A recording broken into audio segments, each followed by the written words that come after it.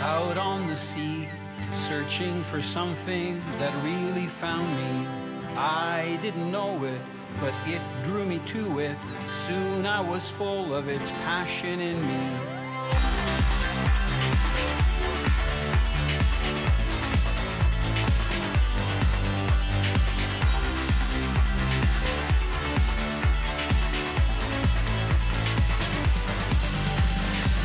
I'm Italo Labignan.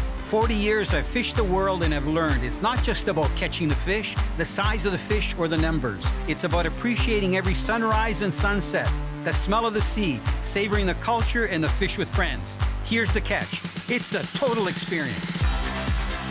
Presented by Bear Reels, versatile, precision, handcrafted hybrid center pins. Seabreeze boats, tame the oceans. Raymarine Electronics, Raymarine, simply superior.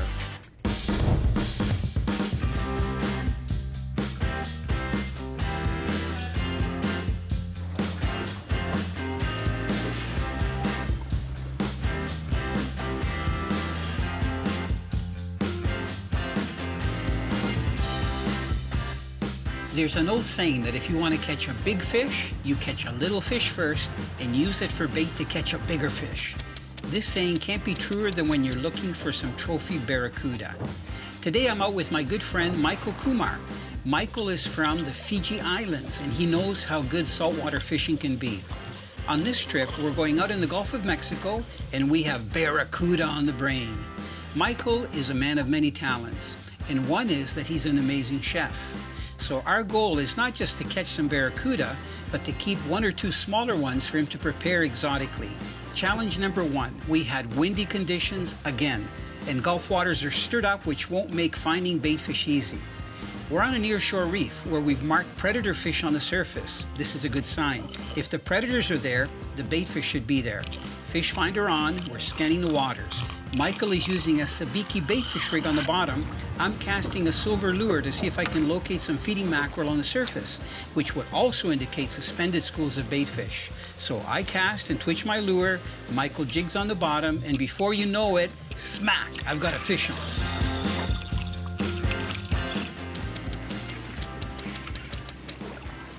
Nice hit. I love it when they hit like that, Michael. Keep casting, Michael. Cast, cast out the back. There might be a school of them there. You know, I'm out here with Michael Kumar. He's a good friend. He just arrived, and we thought we'd come out here and just see what's happening out here in the Gulf. Sure enough, we started casting the lures over a reef, and we got the first one on. Beautiful, brilliant fish. Come here. Such a gorgeous fish. Okay, I'm gonna launch him, Michael. He's gonna be gone. There he goes. Okay. Good thing for the mackerel that we're hunting for barracuda. So I continue to cast. Michael continues to jig on the bottom. Hey, we're in the shade. Oh, something big's going for it. Oh, no. Oh my God, look at Big that. cuda. Big. Oh, man. What was it? It's still after it. Big- oh, it's a cuda. Big cuda. Huge cuda. Oh, my God. Look it. That was a great fight. Uh, not enough for soup. There we go. Uh, kind of interesting. Where did I put my pliers here? From the looks of things, these cudas are starving. And judging from the size of mackerel they're smashing, I think we're going to need bigger bait fish. Man, Michael, the screen is on fire. Look at all We got bait fish up top. We got game fish down below. Wow. So Trying to hook try- up here. Yeah, make long cast. Let it sink a little bit because some of the bigger fish are down underneath. There's no better way to get your fishing buddy adrenaline going than hooking two fish back to back. You know he's anticipating a hit at any time. Either this is a smaller fish or something hit it. No, it's a smaller one. That's so cute. Where is he? He's just behind the boat. Well, smaller. Good eating size. It's right there. Are you casting still, Yeah, oh, Michael? Oh, yeah, I am. Look at this. I can't wait for you to hook your first one, Mike. I know. They're so much fun. Oh, big fish going up. That, that cuda's back. Oh! Oh, they got it. You got him. Man. And you know what? So I think aggressive. I think that, look at this cuda. This, it looks like a big black log. It, uh, I think the cuda see the lure because they just hit the back end of the fish. Okay, you know what? We got to get the fish in when, it, when uh, we get one on. Look at this. You think the cuda could get its own food?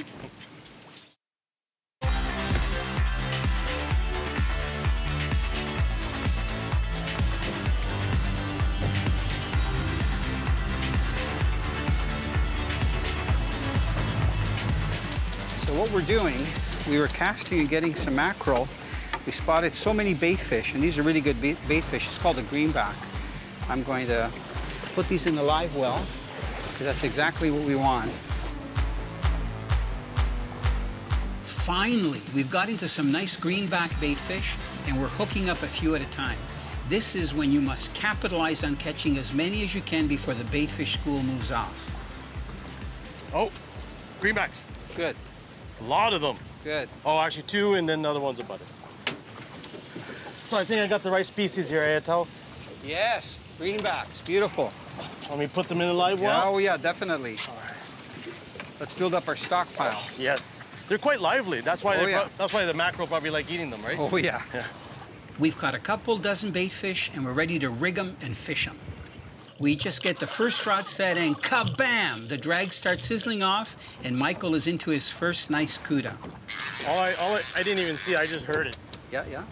Put on a show for me, yes. Wow, look at this guy. He has some shoulders on, Might I be a tell big you. cuda. I'm not sure, but you know what? This is a change from sea steelhead fishing in Ontario. Wow. You think a little oh, bit? Jesus, yeah. I was a little hesitant when, you know, Move, move your go up Okay. to the right, yeah. Just a little bit more, a little bit more. That's it. jeez. Oh, wow, this guy has weight now You're for doing sure. great. Thank you. I'm guessing it might be a big cuda. I'm guessing. I could be wrong. So brilliant, eh? Look at the shine on it. Easy, yeah, yeah. Probably gonna take off, so get ready, okay? Yeah. When I touch him the first time, uh, I'll be very surprised if he doesn't. Wow. Good job. Here. Look at that. Awesome. Does he have any teeth? Just a little. I'm not going to get my fingers too close to it, but Wow. great. Okay, you know what? I'm gonna try to hold it right here. Yep. You the If you pliers? can, yeah, if you can put the rod down. Okay. Pliers are there. Yeah. Right. You be careful, okay, if it thrashes. It's got the treble in its mouth and it's got the single. There's one. Yeah, try not to. Yeah, watch the wire. Just grab it right on the bend if you can. Yeah. There. Okay. Oh, Oh, good I job. rehooked him. Perfect. Unfortunately. There. okay, there we go. Okay. Yeah. Come on back here. Okay, we can get both of us in the shot here Yeah. I know you've caught cuda with me before, but that's the first time on a center pin, right? Yes. Yeah, yeah. Good. Kind of in the shade here, which is nice. Look at, isn't that a nice cuda? That's amazing. And on a float reel. Did you see the way it exploded when it I hit? heard it. Yeah, yeah, yeah. Beautiful fish. Amazing. What are these dots on its head? That's just the spots. Okay. Yeah, yeah. You know what, Michael? Look at all the bait fish. The whole time, you know, while you were fighting your fish. See the bait fish down there, Michael? I see them. Amazing. What a gorgeous animal. We're gonna let it revive a little bit. That water is Yeah, so clear. really hard. Oh yeah. When he hit, he just exploded. Just want to make sure. I could lunge him. There he goes. Goes right into the school of bait. Look at, look at that.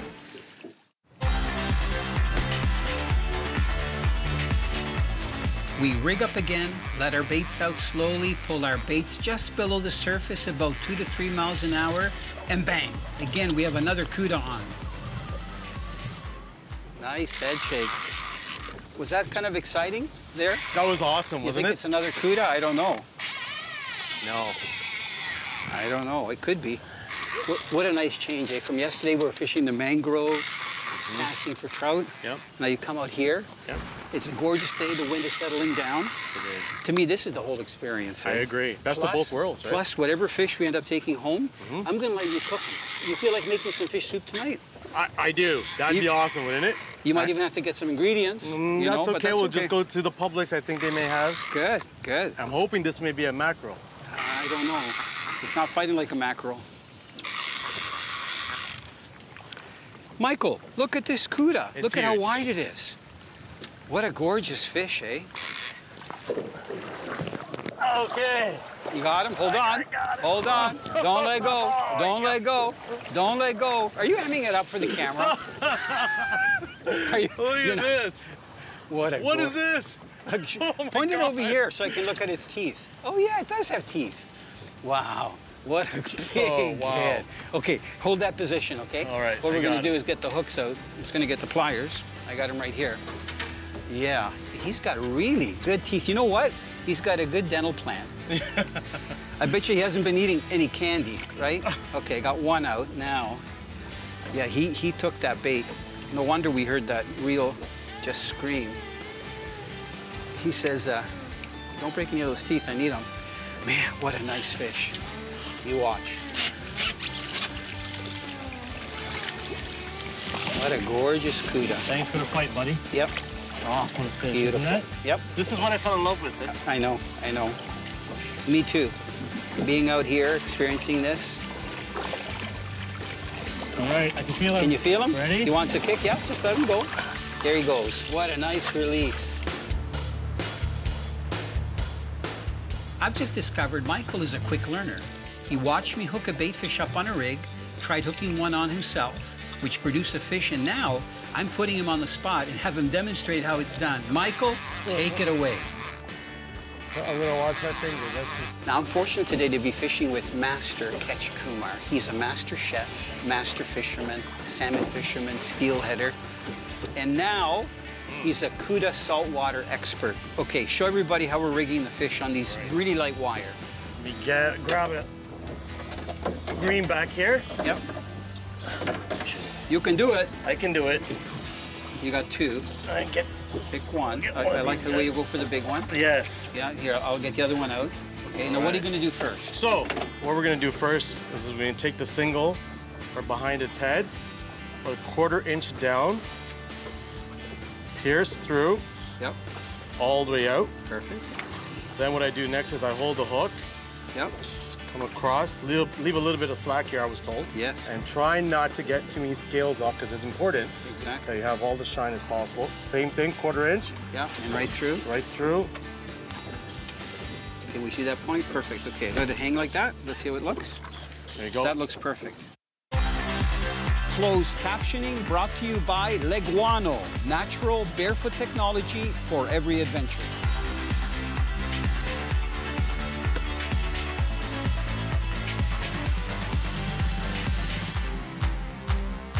We had a great time messing with those mackerel, finding our bait fish, and finally fighting a few nice-sized barracuda. Fighting all those fish can make you hungry. And now it's time to head back and see what Chef Kumar has up his sleeve. First things first is getting those fish off ice and bending them back into shape so they can make for easier cleaning. Michael starts by making an incision just behind the head and works the knife right through the vertebrae to separate the head from the body. No easy task since those vertebrae are pretty thick. Next, he uses the scaler and starts scaling the fish from the tail towards the front of the fish. No finesse here. Michael is a big guy and he's using his muscle to get the scales off both sides. Once the body is scaled, Michael removes the dorsal fin, the anal fin, and the pelvic fins. Smart move, since this will eliminate those small fin bones mixing in with the tasty flesh. Once the fins are removed, he makes a cut along the belly and removes the entrails, being careful to scrape the bloodline off the vertebrae. Michael is careful to cut the steaks evenly, about one and a half inches thick, so that they'll cook at the same rate. As he gets closer to the tail, the vertebrae is thinner and a little easier to cut. I like how he's lining up those steaks in a nice row. Both Michael and I love blue crab, and no part of the fish is going to waste. The head and even the entrails are placed in the crab trap to attract another tasty dinner. Crab trap filled, they're placed in the canal, and it's time to work on the recipe. There's nothing like using fresh organic fixings, and Michael has plenty of nice green mangoes he's going to be using for his recipe. Okay, onions, tomatoes, red pepper, green peppers, hot peppers, ginger, thyme, cilantro, garlic, green onions. Man, the list goes on and on. Michael wasn't kidding when he said he would make a delicacy for us. He starts by cutting up the green onions, next the cilantro, and then the thyme. He then surprised me by taking the garlic, peeling off the husk, and instead of chopping it up, he carefully grates it. Very interesting. Next, he takes the peppers, cuts them open, removes the seeds. That's where all of the heat is stored. Looks like he's going more for flavor than for heat.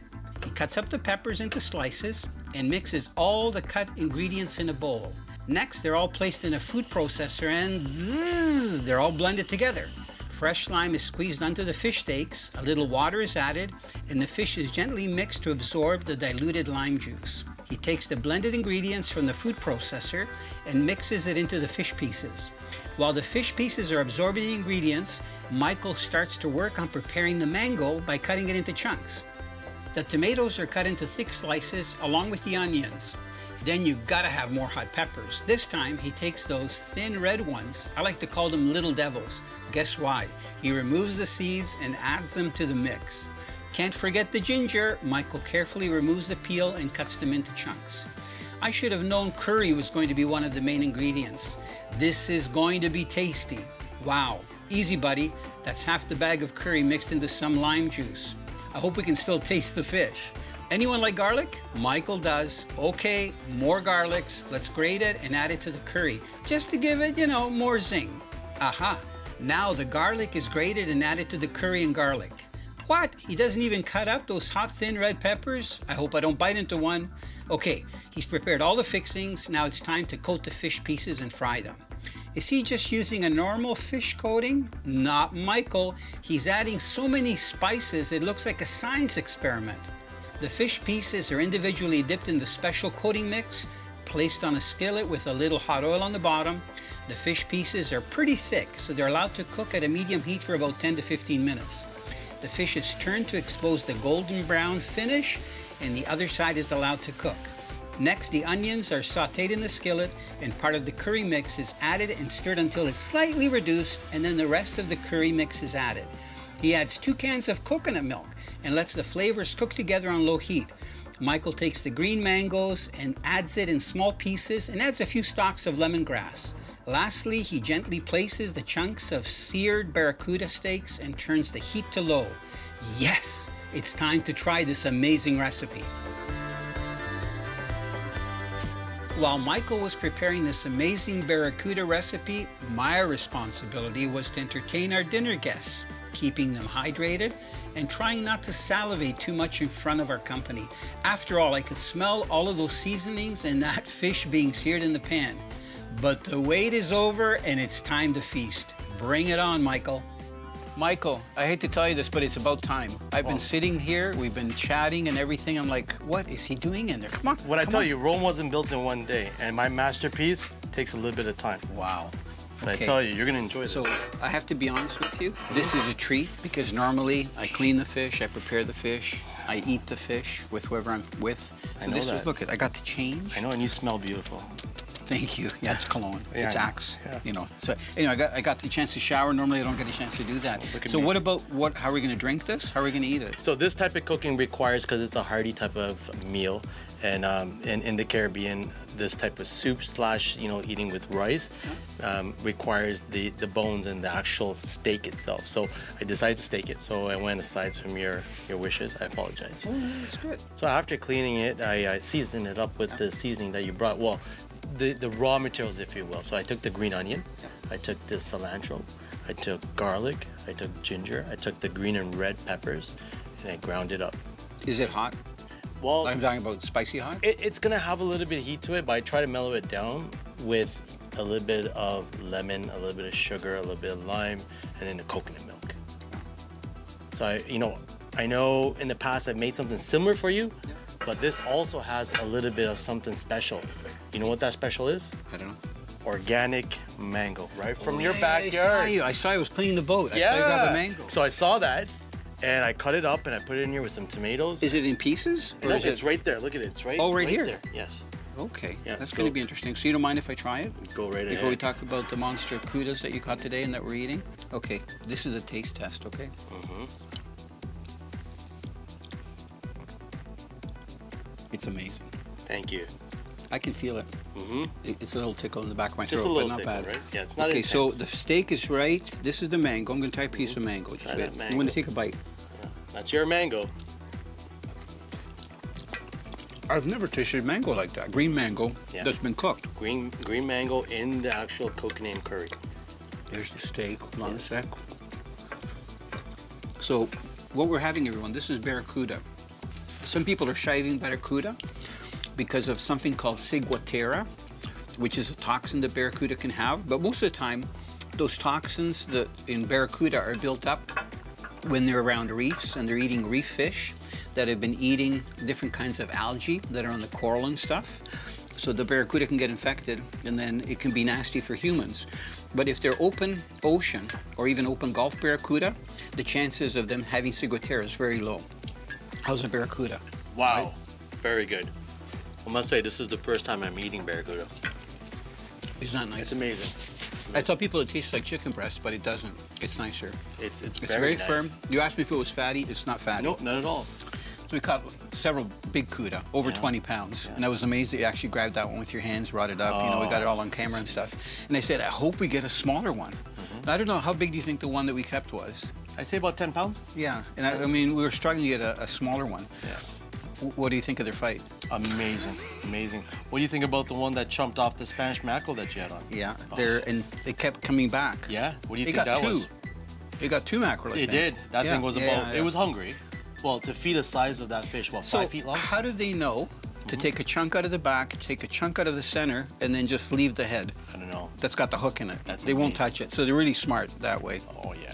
So, so what do you think of this Florida thing and this like 35 Celsius I and was stuff? just about to say to you, I can get used to this. Why don't you get a place down here?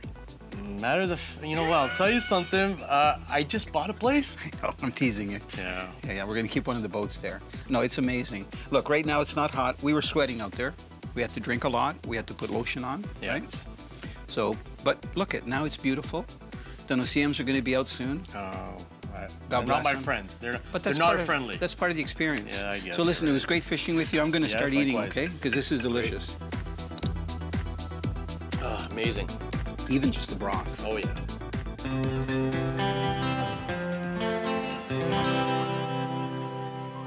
One day I wandered out on the sea, searching for something that really found me.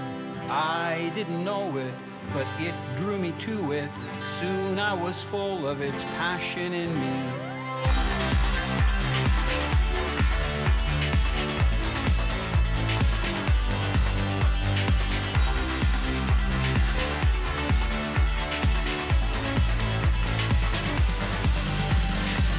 I'm Italo Labignan. 40 years I've fished the world and have learned it's not just about catching the fish, the size of the fish, or the numbers. It's about appreciating every sunrise and sunset, the smell of the sea, savoring the culture and the fish with friends. Here's the catch it's the total experience. Presented by Bear Reels, versatile, precision, handcrafted hybrid center pins. Seabreeze Boats, tame the oceans. Raymarine Electronics. Raymarine, simply superior.